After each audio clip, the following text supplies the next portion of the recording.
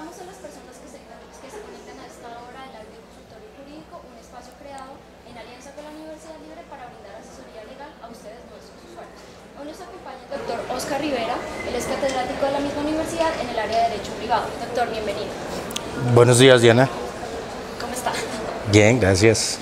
Bueno, Colombia es el país en donde más personas viven en arriendo en la región. Esto quiere decir, según, las, según la, la firma consultora de Economía Urbana, que el 44% de los colombianos vive bajo esta modalidad y eh, este negocio mueve más de 24 billones de pesos al año. Tras estas cifras de contexto, iniciamos el programa de hoy preguntándole cuáles son las condiciones generales de un contrato de arrendamiento. Particularmente se debe acordar entre las partes arrendador y arrendatario el bien que se destina al arriendo, el uso, el valor del arriendo y la forma de pago, si se va a pagar por mensualidades, semanalmente o por el periodo completo, un año o seis meses.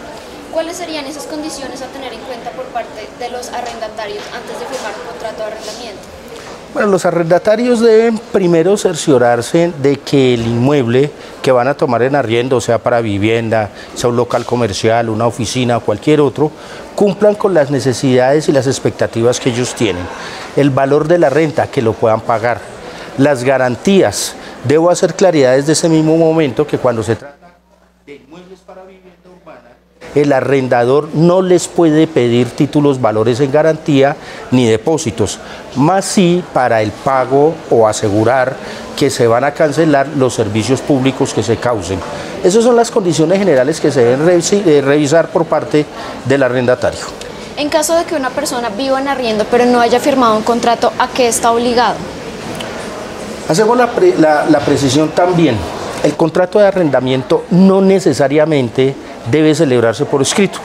El simple acuerdo de voluntades entre las partes en los elementos que ya les había mencionado, el inmueble que se va a destinar, para qué se va a destinar, el valor del arriendo, ya hay un contrato de arrendamiento. Y el arrendatario tiene todas las obligaciones que nosotros conocemos, conservar, cuidar el bien, destinarlo para el uso que fue objeto del contrato de arrendamiento, pagar la renta o canon que se llama comúnmente y restituirlo a la terminación del contrato. ¿Qué pasa en caso de que uno de los dos quiera dar por terminado el contrato antes de lo que ya habían establecido? Bueno, eh, si hablamos del arrendamiento para vivienda urbana, la ley 820 del año 2003 prevé esta situación. El arrendatario puede darlo por terminado en cualquier momento, incluso dentro del periodo inicial, comunicando con tres meses de anticipación a través de correo certificado y consignando a órdenes del arrendador el equivalente a tres mensualidades. El arrendador puede darlo por terminado unilateralmente solamente dentro de las prórrogas, no en el periodo inicial. Y el procedimiento es lo mismo, comunicarle al arrendatario dentro de los con no menos de tres meses de anterioridad y consignando el equivalente a tres mensualidades. Hay otra serie de condiciones cuando se quiere dar por terminado, por ejemplo, cuando el arrendador lo necesita para habitarlo él y su familia durante un periodo superior a un año, cuando necesita hacerle reparaciones necesarias, esas reparaciones que son indispensables para evitar que el bien se destruya. En este caso, debe hacer una consignación el arrendador por el equivalente a seis mensualidades de arriendo. Y otro caso se presenta cuando el arrendatario ha ocupado el inmueble por al menos cuatro años. En ese evento, el arrendador le pagará una indemnización equivalente a una y media mensualidad. ¿Cuáles son las sanciones en caso de que una de las partes cumpla, incumpla con alguna de las cláusulas del contrato? Bueno, la primera sanción es que se da por terminado, previa decisión judicial, el contrato de arrendamiento y el incumplido deberá indemnizar a la otra parte. Eh, por lo general en los contratos de arrendamiento se pacta una cláusula penal. La sanción pecuniaria sería el cobro de esta cláusula penal. ¿Cuánto tiempo se le debe dar a un inquilino para que desocupe un inmueble? A la terminación del contrato, el arrendatario, como lo señalaba anteriormente, debe entregar el inmueble inmediatamente.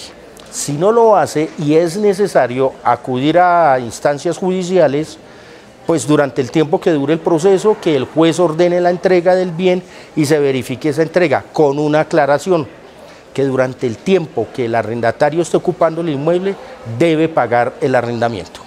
¿Qué hacer en caso de que el inquilino se niegue a desalojar? Existen dos mecanismos. Uno, que es el de una solución alternativa del conflicto a través de un centro de conciliación. Y el otro, acudir ante los jueces de la República en un proceso de restitución de inmueble arrendado. Bueno, hasta ahora ustedes recuerden que pueden dejar sus preguntas o sus comentarios en Facebook y en YouTube y más adelante el doctor dará respuesta a algunos de ellos. Continuando con el tema, si el inmueble, por ejemplo, sufre algún tipo de daño, ¿qué debe hacer eh, el arrendador en este, en este caso?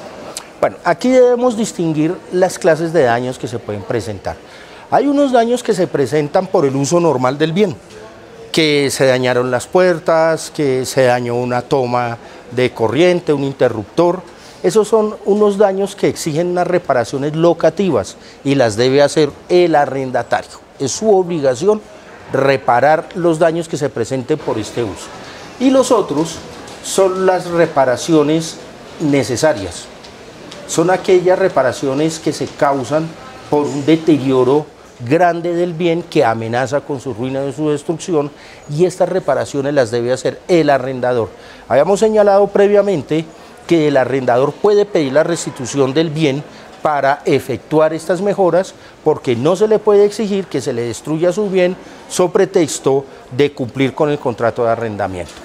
Si estas reparaciones no son tan grandes como para exigirle al arrendatario que le restituya el bien, entonces podrá hacerlas parcialmente, eso sí, descontando del valor del arriendo la proporción del inmueble que se esté reparando. En otras palabras, si es una tercera parte del inmueble el que exige esas reparaciones o mejoras necesarias, pues le descontará al arrendatario una tercera parte del valor de la renta. Eso es en proporción. ¿Quién debe pagar costos como cuotas extraordinarias de un inmueble? Digamos que, las exige en algunos casos la administración. La administración. Este costos de administración, expensas ordinarias y extraordinarias, por regla general las debe asumir el propietario del inmueble. Asumamos que es el mismo arrendador, él debe hacer este pago. Salvo que arrendador y arrendatario pacten que sea el arrendatario el que se encarga de pagar las expensas ordinarias, cuotas de administración, por ejemplo.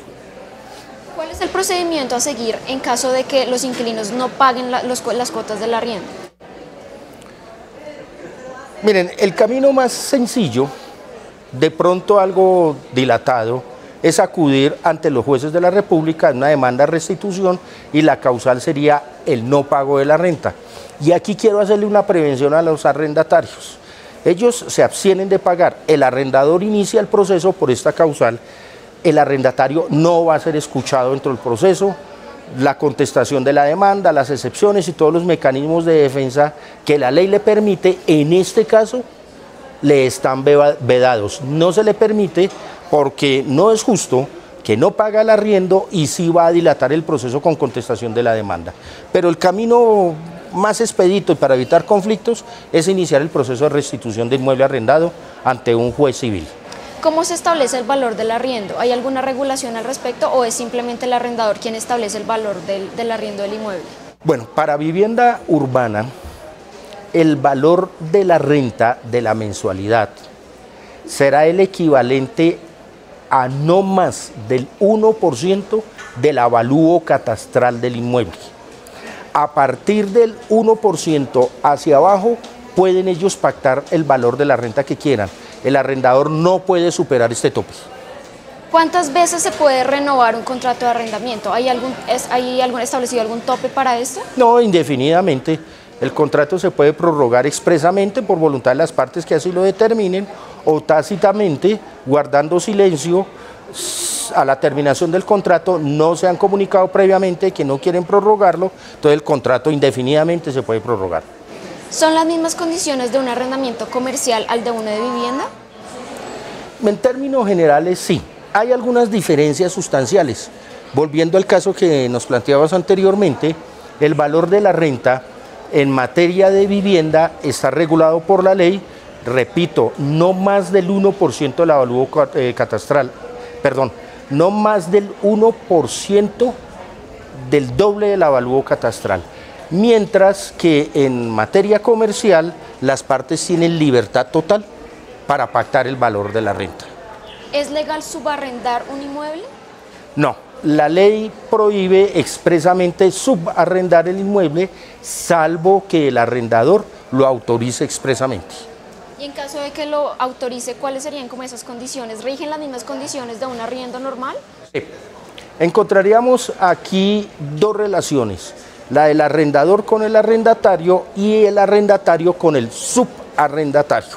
Serían dos contratos diferentes. De todas maneras, el arrendatario debe responder por sus obligaciones ante el arrendador. Bueno, saludamos a las personas que nos están viendo en vivo. Vamos a resolver algunas de las preguntas que nos han dejado. Paulita dice, ¿es obligación a la hora de arrendar dar dinero adicional como depósito? Eh, Paola, buenas, buenos días.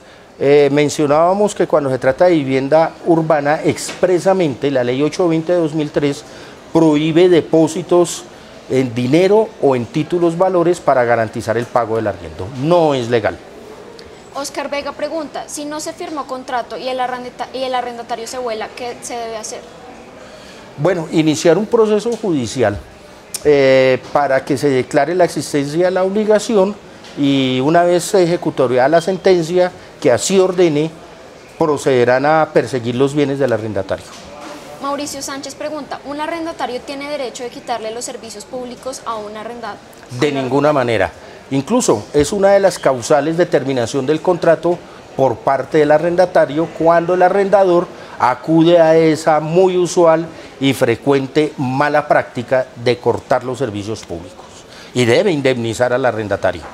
Marco Antonio Rueda pregunta, ¿es legal que se pida un depósito de tres meses para que se arriende? No, de ninguna manera, ya lo hemos explicado. No se puede hacer ese tipo de exigencias. Em,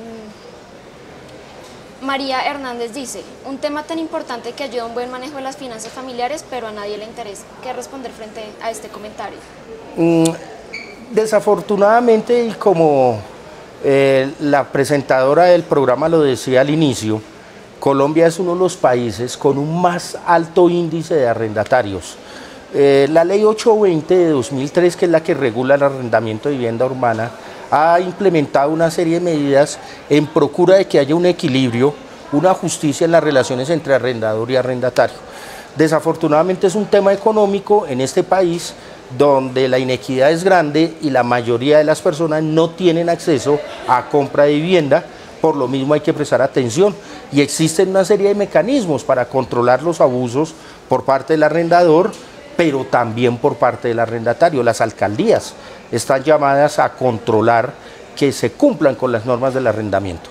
José Luis Rodríguez dice, tengo un establecimiento comercial, llevo tres años en este local, me piden el local sin previo aviso, ¿qué debo hacer?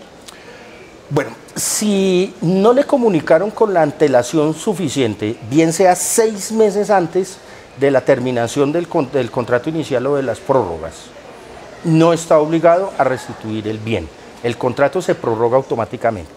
Pero debo señalar que en materia comercial existe la figura de la renovación del contrato.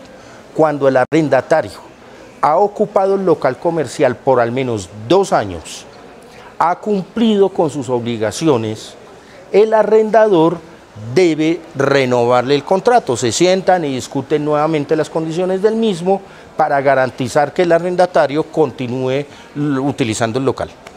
Silvio Naranjo tiene la siguiente inquietud. Si se me cumplió el contrato y hace tres meses estoy pagando y el dueño vendió el inmueble, ¿qué pasa ahí? Eso, si es un local comercial, el arrendatario tiene la facultad de continuar utilizando el local comercial. En materia mercantil, la venta del inmueble no es causal para terminar el contrato de arrendamiento, como si tratándose de vivienda urbana. Eliana Patiño dice, si me están pidiendo el inmueble por ruina inminente y el inspector de sanidad dice que no hay tal ruina, que solo son humedades, ¿tengo que desocupar? Mm, bueno, hay que determinar aquí porque es que no creo que el inspector de sanidad sea el funcionario competente para determinar si el bien amenaza ruina. Si la autoridad respectiva, me imagino un ingeniero o un funcionario de obras de la respectiva alcaldía, de la respectiva alcaldía determina que el bien está amenazando ruina, definitivamente hay que desocuparlo. Si ellos determinan que no, no es obligatorio que el arrendatario restituya el bien. Álvaro José dice, después de terminado un contrato por un año, si el arrendatario desea continuar viviendo allí unos meses más, ¿es posible o debe renovar otro año completo? Si el arrendatario continúa viviendo allí, con la autorización del arrendador podemos asumir que el contrato se prorrogó por otro periodo igual, en este caso por otro año. Caterín Franco dice, ¿se puede hacer cobre en el pago del arriendo comercial si no se tiene contrato, pero las facturas han sido recibidas y aceptadas sin objeción? Sí, claro. En caso de que el arrendatario no pague el valor de la renta, pues se puede y se debe hacer el respectivo cobro, bien sea un cobro prejurídico o acudiendo a instancias judiciales. Bueno, se nos agotó el tiempo, doctor. Muchísimas gracias. A ustedes, gracias por su sintonía. Recuerden que pueden dejar sus preguntas en eltiempo.com ingresando a la sección Justicia, Servicios. Allí encontrarán un formulario donde pueden dejar todas sus inquietudes. ¡Feliz día!